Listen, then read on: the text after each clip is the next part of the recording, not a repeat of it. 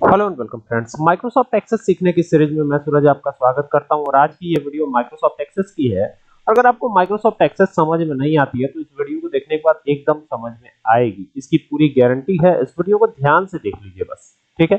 देखिए, सबसे पहले माइक्रोसॉफ्ट एक्सेस ओपन करना है। एक्सेस ओपन करने की प्रक्रिया क्या है? देखिए, ये स्टार्ट बटन है, क्योंकि मैं यूज़ कर रहा हूँ विंडोज़ इलेवन दैट्स वाई यहाँ पे स्टार्ट बटन दिख रहा है। ठीक है? आपके में शायद यहाँ पे दिखे। ठीक है? अगर टेन यूज़ करते हो तो। ठीक है? तो यहाँ से सेवन यूज़ करते हो तो भी वहीं पे दिखेगा। तो यहाँ पे एक्सेस आपको सर्च करना है। तो देखिए एक्सेस सर्च करते ही मेरे पास 2021 है 2007 है। तो बेटर ये है कि मैं 2007 पे बताऊँ ताकि बिगिनर्स को भी हेल्प हो इसमें, ठीक है? तो यहाँ से ये 2007 ओपन कर लिया। अब यहाँ पे देखिए, यहाँ पर बहुत सारे टेम्पलेट दिए गए आपको टेम्पलेट का यूज़ नहीं करना, आपको नया डेटाबेस बनाना है। तो ब्लैंक डेटाबेस पे जाना पड़ेगा और यहाँ पे जाके क्लिक करना होगा। जैसे क्लिक करेंगे तो सिनेरियो कुछ इस तरीके का आएगा, ठीक है? अब यहाँ पर चाहे तो आप डेटाबेस का नाम चेंज कर सकते हैं। यहाँ पर डेटाबेस का एक्सटेंशन दिया है फ़ाइल एक्सटेंशन देख सकते हैं, ये फ़ाइल एक्सटेंशन है डेटाबेस का। तो यहाँ पर क्रिएट पे क्लिक कर देते हैं। चाहे तो नाम चेंज कर सकते हैं, लेकिन चलिए हम क्रिएट पे क्लिक कर देते हैं और यहाँ पर आपको दो व्यूज़ दिखाई देंगे। दोनों के खास अपने अलग मतलब है, ठीक है? तो फ़िलहाल हमें डिज़ाइन करना है डेटाबेस को तो हमें जाना है डिज़ाइन व्यू में, ठीक है? अब इस टेबल को कोई नाम दे सकते हैं। आप चाहे तो डिफ़ॉल्ट टेबल वन भी रहने दे सकते हैं।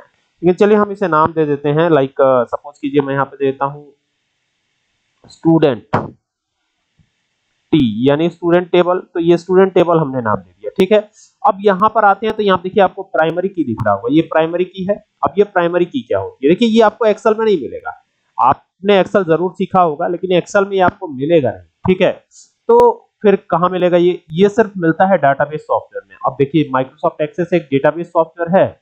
माइक्रोसॉफ्ट एक्सेस के अलावा बात करें तो माइक्रोसॉफ्ट जो एसक्यूएल सर्वर मैनेजमेंट स्टूडियो है, वो भी एक डेटाबेस सॉफ्टवेयर है। आप बात कर सकते हैं माई एसक्यूएल के बारे में वो भी एक डेटाबेस सॉफ्टवेयर है। इसके अलावा ओरेकल भी एक डेटाबेस सॉफ्टवेयर है। इसी तरीके से माइक्रोसॉफ्ट एक्सेस बहुत ज़्यादा पॉपुलर डेटाबेस सॉफ्टवेयर है, ठीक है? तो डेटाबेस में कीज का कॉन्सेप्ट होता है। ठीक है? और एक्सेल एक स्प्रेडशीट है तो वहाँ कीज का कॉन्सेप्ट आपको नहीं मिलेगा। ठीक है? ये बात ध्यान रखिएगा। अब यहाँ पर क्या करना है? कोई यूनिक ऐसी फ़ील्ड डालिए, जो यूनिक हो। अब ये यूनिक फ़ील्ड क्या होती है? जैसे मान लीजिए आपने यहाँ पे कर दिया रोल नंबर या रजिस्ट्रेशन नंबर तो ये यूनिक हो जाएगा। देख रहे हैं? ये देखिए, ये रजिस्ट्रेशन आईडी या रजिस्ट्रेशन नंबर कर देते हैं। रजिस्ट्रेशन आईडी कर दिया। ये अंडरस्कोर लगाया है बीच में। ठीक है?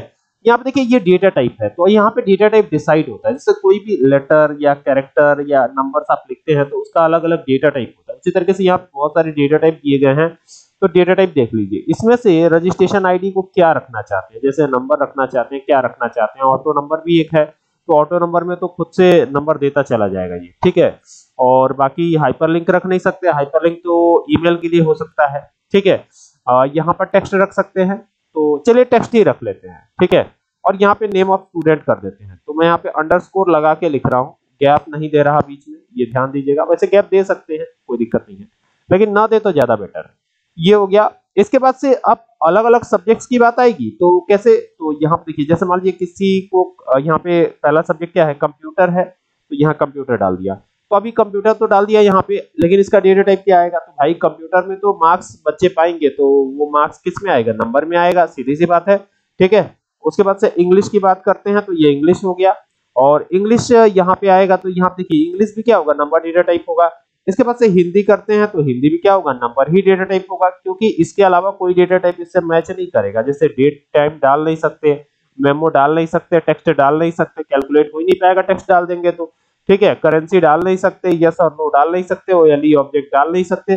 तो इसीलिए यहाँ पे मैं नंबर रख रहा हूँ ताकि हमको कैलकुलेट करने में आसानी हो, ठीक है? अब यहाँ पर एक और सब्जेक्ट है एसएसटी तो यहाँ पे एसएसटी भी डाल दिया हमने। और एसएसटी डालने के बाद क्या करना है? यहाँ पे नंबर रखना है, ठीक है? तो ये फोर सब्जेक्ट हो गए और यहाँ पे मैथ्स कर देते हैं। इसके अलावा साइंस भी कर देंगे लास्ट में आके। ये देखिए, नीचे आएँगे और यहाँ S C I E N C E science कर दिया और साइंस करने के बाद यहाँ से आकर के इसको भी नंबर कर देंगे। अच्छा हमको टोटल भी तो करना होगा और परसेंटेज भी तो निकालना पड़ेगा। तो यहाँ टोटल किया, ठीक है? और इसका भी डेटा टाइप क्या रखेंगे? नंबर ही रखेंगे। तो यहाँ से नंबर रख लीजिएगा। और यहाँ पर एवरेज निकालना या परसेंटेज निकालना तो यहाँ परसेंटेज करता हूँ। परसेंटेज ठीक है? तो ये परसेंटेज यहाँ पे कैलकुलेट होगा। यहाँ पे देखिए, ये ये भी नंबर रखेंगे आप ठीक है? लेकिन यहाँ से चूँकि परसेंटेज पॉइंट में भी आ सकता है तो यहाँ देखिए ये जो दिया गया है फ़ील्ड प्रॉपर्टी यहाँ पर आकर के इसे बना दीजिएगा double D O U B L E तो ये डबल हो जाएगा तो ये पॉइंट में भी वैल्यूज़ ले सकता है, ठीक है? अब यहाँ से व्यू पे क्लिक करना है, ठीक है? क्योंकि ये बार बार पूछा जा रहा था तो एक, इस पे सेपरेट वीडियो मैंने बना दिया देखिए ये इस तरीके से आ जाएगा, देख रहे हैं? ये पूरा डिटेल कुछ इस तरीके से। अब देखिए रजिस्ट्रेशन नंबर छिपता हुआ दिख रहा है तो इसको खींच करके ऐसे ड्रैग कर दीजिएगा। जैसे आप एक्सेल में करते हैं तो बिल्कुल ये सही हो जाएगा।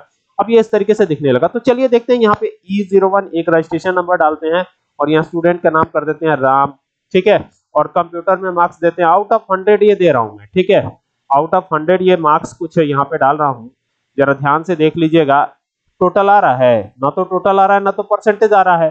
तो फिर आएगा कैसे? यहाँ पर एक्सल वाले हिसाब किताब नहीं है। ठीक है, लेकिन हाँ यहाँ पर एक चीज़ है, यहाँ पर भी फॉर्मूला यूज़ कर सकते हैं। आप कैसे यूज़ करेंगे, देखिए। सबसे पहले तो ये देखिए, इसमें अभी टोटल नहीं आया हुआ है तो इसको मैं क्लोज करता हूँ। ये हमारी टेबल बनी है, ठीक है? इसके बाद हम क्या बनाएँगे? क्वेरी बनाएँगे। तो यहाँ से क्रिएट पे जाएँगे और ये देखिए, ये जो क्वेरी डिज़ाइन दिख रहा है ना, बस यहीं पे आपको जाना है। जैसे ही जाएँगे तो ये इस तरीके से आएगा शो टेबल तो हमारा टेबल तो स्टूडेंट ही है, हमने कोई क्वेरी नहीं बनाई, ठीक है? हमने केवल टेबल ही बनाया तो टेबल एक ले लेते हैं। ऐड पे क्लिक करेंगे टेबल आ जाएगा इसमें, ठीक है? और इन सारे फील्ड्स को ऐड करना है तो यहाँ ऊपर जो दिख रहा है ना, ये हेडिंग इसी पे क्लिक करिएगा और इसको ड्रैग करके लाके ही रख दीजिएगा। तो सारे फील्ड्स आ गए, ठीक है?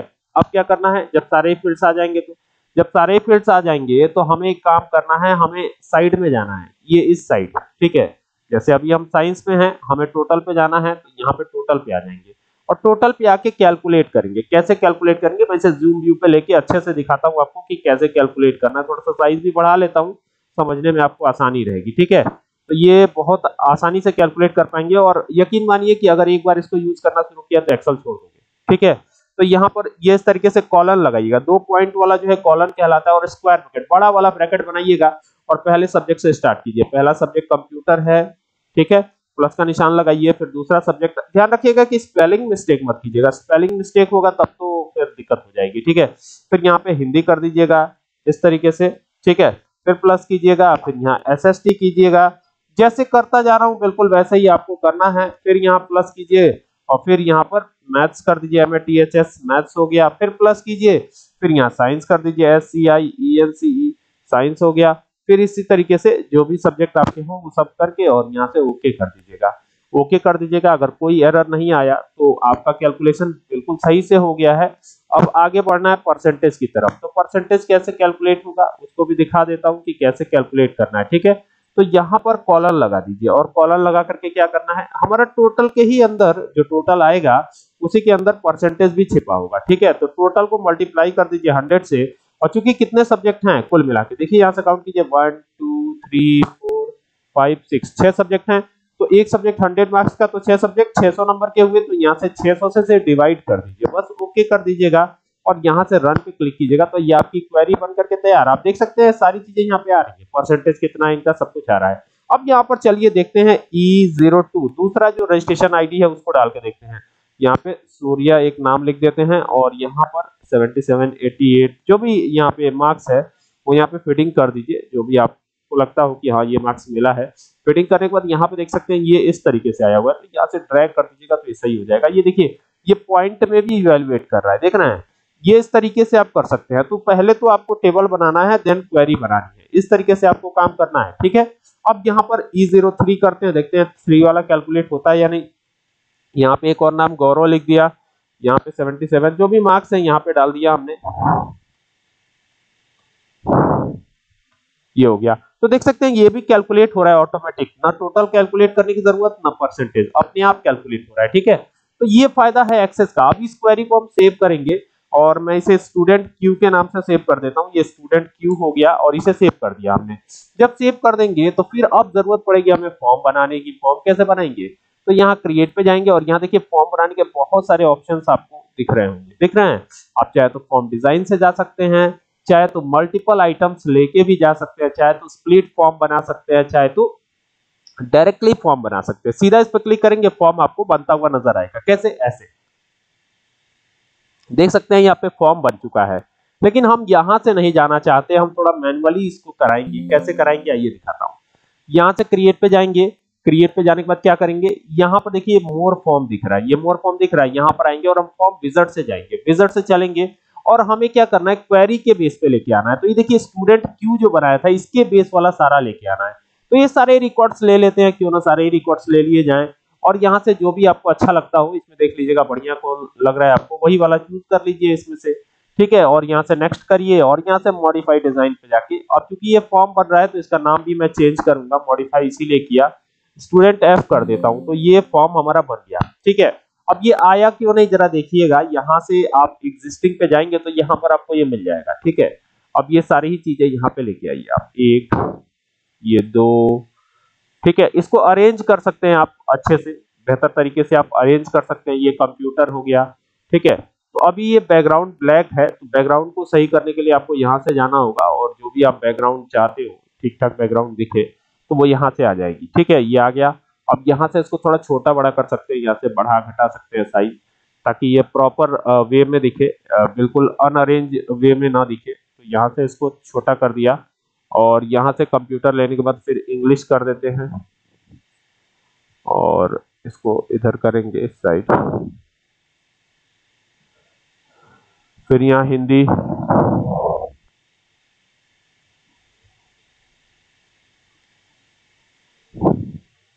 फिर यहाँ आगे इस तरीके से कैरी ऑन हमें करना है। ये हो गया। फिर यहाँ से ये हो गया। ठीक है। और इसको एकदम बेहतर तरीके से सजाना है, ताकि ये देखने में भी अच्छा लगे। ठीक है। और यहाँ पे रख देते हैं इसको। साइंस टोटल या साइंस को यहाँ लेके आ जाते हैं, बाकी टोटल को ऊपर रखते हैं। ठीक है। तो ये टोटल है हमारा, यहाँ पे। और ये परसेंटेज है, ठीक है? तो ये सब कुछ आ चुका है, ठीक है? और एक चाहे तो इसमें कॉम्बो लगा सकते हैं। आप कॉम्बो कैसे लगाएँगे? कॉम्बो लगाना बड़ा आसान है। यहाँ पे क्लिक कीजिए और यहाँ से ऐसे ड्रैग कर दीजिएगा। ये कॉम्बो बॉक्स आ जाता है और यहाँ तीसरे ऑप्शन पे क्लिक कीजिएगा और यहाँ से नेक्स्ट करके रजिस्ट्रेशन आईडी के बेस पे सर्च करना है और यहाँ से जाकर और ये रजिस्ट्रेशन आईडी वन आ रहा है, इसको हटा देते हैं और यहाँ से फिनिश कर देंगे। तो ये कॉम्बो बॉक्स भी बन करके रेडी है हमारा। ठीक है, नीचे बटन्स वगैरह बना सकते हैं नेक्स्ट के और जो भी चाहे, जिस भी तरह के, यहाँ से जाकर के। और ये देखिए, ये जो है गो टू नेक्स्ट रिकॉर्ड का एक बटन इंसर्ट करने जा रहा हूँ। ये देखिए पिक्चर नहीं टेक्स्ट चाहिए। और यहाँ पर ये इस तरीके से नेक्स्ट रिकॉर्ड का बटन भी बन करके तैयार है। देख सकते हैं। आप और भी बटन बना सकते हैं, यहाँ से जाकर के प्रीवियस रिकॉर्ड या डिलीट रिकॉर्ड का भी बटन यहाँ से। बहुत सारे बटन आपको मिल जाते हैं इसमें। देखिए, ये ये देख रहे हैं add new record delete record तो ये डिलीट रिकॉर्ड का इस बार बनाते हैं। टेक्स्ट ही रखेंगे और यहाँ से चल के यहाँ से फिनिश तो ये इस तरीके से दो बटन हमारे बन गए। और दोनों को बनाने के बाद अब हम क्या करते हैं? जरा सा कुछ चेंजेस करेंगे प्रॉपर्टी शीट में जाके।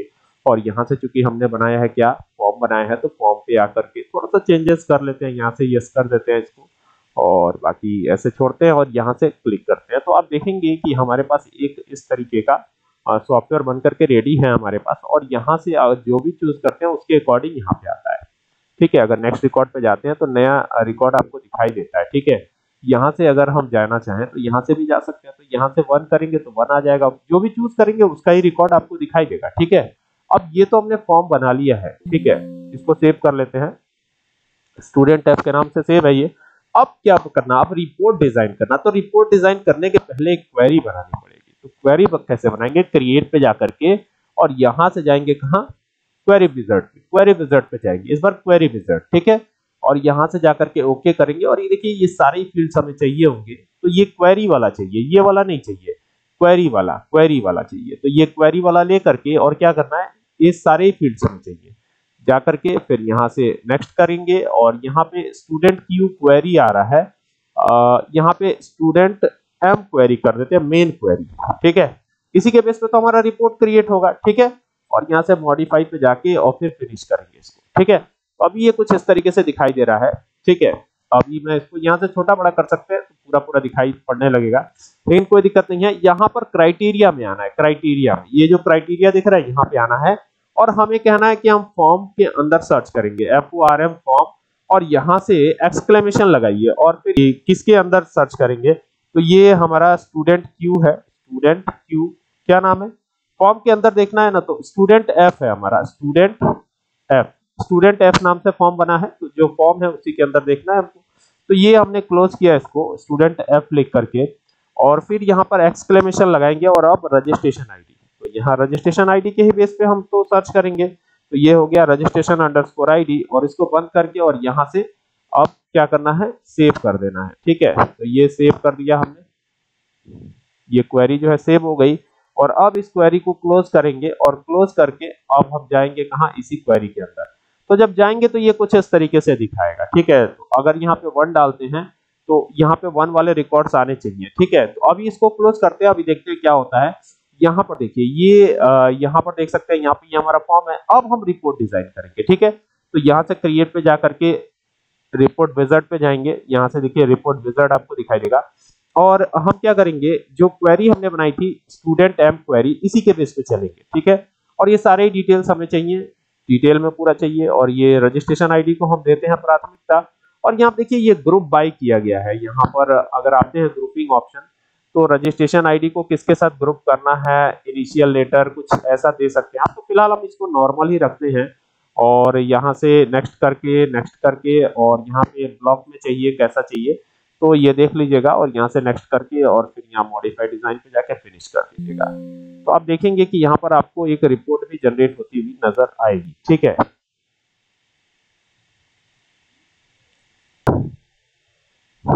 अब यहाँ से आप ये ऐसे भी लेके आ सकते हैं लाइन से। ये देखिए, ये कुछ इस तरीके से।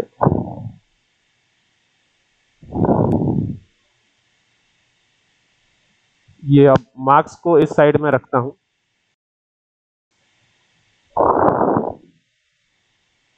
तो ये कुछ इस तरीके से हो जाता है। अब ये व्यू पे जाएँगे तो आपको इस तरीके से दिखाई देगा। अब यहाँ पे वन आ रहा है ई ज़ीरो वन तो यहाँ ई ज़ीरो वन था हमारा तो ई ज़ीरो वन करते हैं तो केवल ई ज़ीरो वन की ही डिटेल आपको दिखाई देगी। यानी ई ज़ीरो वन का ही मार्कशीट अभी आपको दिखाई दे रहा है।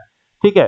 अगर आप यहाँ से चेंज करते हैं, जैसे फॉर्म में जाके आप चेंज कर देते हैं, यहाँ पे आए, और यहाँ से मैं क्या करता हूँ ई ज़ीरो टू कर देता हूँ। ठीक है? और यहाँ पर क्या करेंगे, एक बार रिफ्रेश करेंगे। ठीक है? यहाँ से जाएँगे और ये हमारा रिपोर्ट ओपन है, इसे एक बार रिफ्रेश करते हैं। रिफ्रेश करेंगे तो पूछेगा कि कौन सा चाहिए तो यहाँ ई ज़ीरो टू कर दीजिएगा। और जैसे ई ज़ीरो टू करेंगे तो ये इस तरीके से देखिए ई ज़ीरो टू वाले का डिटेल आ रहा है। और ये जो आ रहा है ना, इसके लिए परेशान होने की ज़रूरत नहीं है। ये यहाँ से जाएँगे ना तो इसको हम यहाँ से डिज़ाइन बोलेंगे ये डिज़ाइन जो दिख रहा है, इस तरीके से लेंगे और यहाँ से जाकर के इसको थोड़ा सा बड़ा कर देंगे। तो जब बड़ा करेंगे और व्यू पे क्लिक करेंगे तो आप देखेंगे कि जो भी आप देंगे यहाँ पे, जैसे ई ज़ीरो टू दे दिया आपने तो देखिए ये पूरा दिखाई पड़ेगा। तो इस तरीके से पूरी की पूरी एक रिपोर्ट कार्ड बन जाएगी आपकी। और जब आप जब प्रिंट करना चाहें प्रिंट करके दे दीजिए।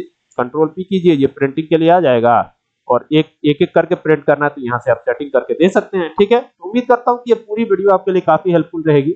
अभी मुझे कमेंट आया हुआ था तो इस आधार पर मैंने ये वीडियो बना दी, ठीक है? और उम्मीद करता हूँ आपको अच्छा लगेगा।